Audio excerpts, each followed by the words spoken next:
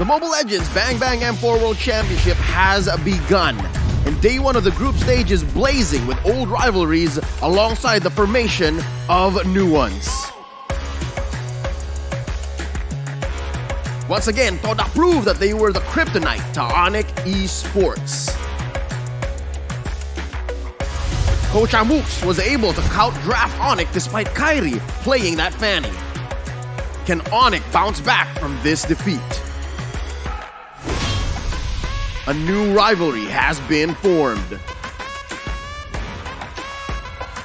In an epic Ling versus Fanny duel, Falcon Esports claimed the victory at the expense of the Cambodian champions.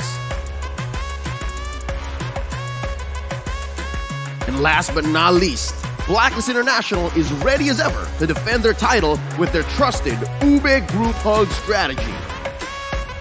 Will there be more international feuds in the making? We're about to find out. Let's begin day two of M4 Group Stage.